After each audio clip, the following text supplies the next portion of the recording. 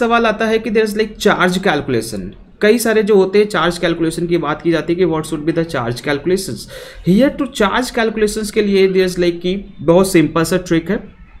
आप या तो पूरा टेबल याद रखो, या आप इस चीज़ को याद रख सकते हो. ठीक है? सवाल ये उठ जाता है कि कभी भी किसी भी पर्टिकुलर केसेस में लेस देन फाइव अगर है, अब कई लोग बोलेंगे, सर थ्री क्या होगा? तो भैया थ्री लेस देन फाइव है, ही तो है ना?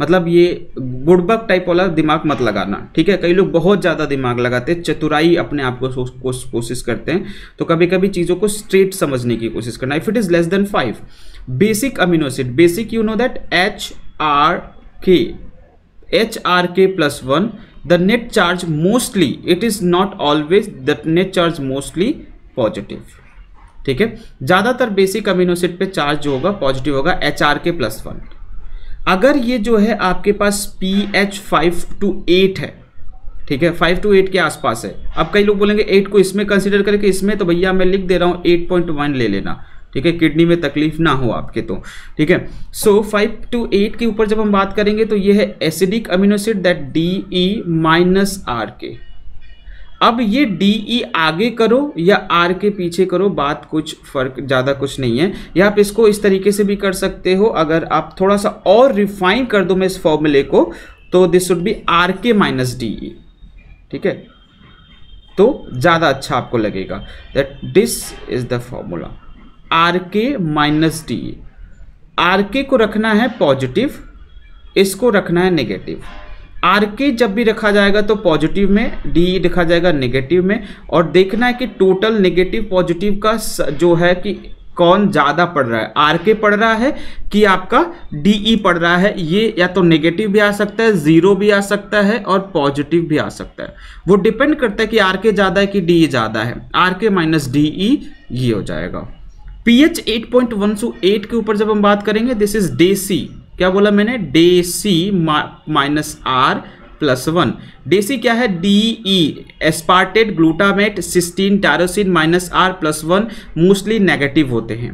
मोस्टली नेगेटिव होते हैं। इसको नेगेटिव में रखोगे, ये पॉजिटिव में रहेगा, नेगेटिव इस तरीके से। पीएच, अगर ग्रेटर देन 11 हो, ये 10.9 तक है आपका। पीएच इक्वल टू 11 या ग्रेटर देन 11 हो तो it should be DC plus one. DC plus one ये भी नेगेटिव में होगा।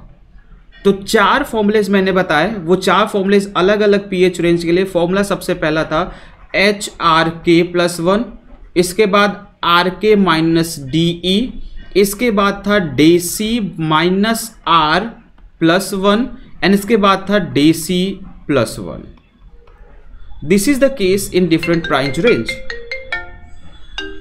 ये जो है डिफरेंट डिफरेंट प्राइस रेंज में आपका आ जाता है। Different different not price range it is from different different PH range अलग अलग पी एच रेंज पे ये चीज़ आ जाएगी। तो उसके ऊपर जब हम बात करते हैं कि अलग अलग पीएच रेंज के ऊपर जब कैसे कैलकुलेट करेंगे क्वेश्चन दिया रहेगा, तब उस पर बात करते हो। एक बार फिर ध्यान देना H R K plus one R K minus T D C minus R plus one D C plus R plus one ये पीएच रेंज ध्यान है, ये लेस देन फाइव हो जाएगा, ये पाँच से आठ के बीच में हो जाएगा, ये आठ से ग्यारह के बीच में और ग्यारह से चौदह इसके ऊपर। मतलब टेन पॉइंट नाइन एक एक करके कम कर लेना भैया, ज़्यादा टेंशन किडनी में तकलीफ़ मत कराना, ठीक है? जस्ट फॉर एग्ज़ाम्पल एक एग्ज़ाम्पल के तौर पर कैलकुलेट करा देते हैं, जैसे कि मान लीजिए D E A G A Y M T R H T P ठीक है? Now let's talk about the P H third P H third is less than five यानी वॉट शुड बी यूज़ आपको क्या करना है? H R K plus one का formula लगाना है। किसमें आएगा? पॉजिटिव में। एच आर के काउंट करो। इसमें क्या है? आर एन एच है। के कहीं पे नहीं है। मतलब दो plus one that should be three number कितना था? एक एक, दो प्लस टोटल हो जाएगा किसमें पॉजिटिव में। चार्ज कितना हो जाएगा? That should be plus three अगर मैं आपसे यही पूछ देता, पी एच सेवन पे बताओ तो यानी are K minus D E, R के की वैल्यू कितनी थी? आर के, आर सिर्फ़ एक है, डी ई, देखिएगा, डी ई डी, यानी कि यहाँ पे ये पी है, नॉट डी है तो ये one minus two, that should be minus one, ये आ जाएगा ठीक है?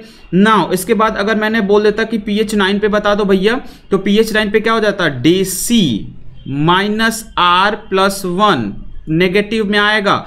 देखो, ये क्या है? D D E C Y C नहीं है वाई है, लेकिन यानी थ्री है माइनस आर आर वन है प्लस वन ये हो जाएगा, ये कैंसिल आउट हो जाएगा, यानी हो जाएगा minus three what should be P H twelve यानी D C D C plus one R नहीं होगा यहाँ पे। डे सी कितना था? तीन था। प्लस वन ये जाएगा negative four this is the charges you can calculate with this particular form इस तरीके से आप चीज़ों को कैलकुलेट कर सकते हो। तो बहुत सारे सीक्वेंस रैंडमली लिखो और अप्लाई करो।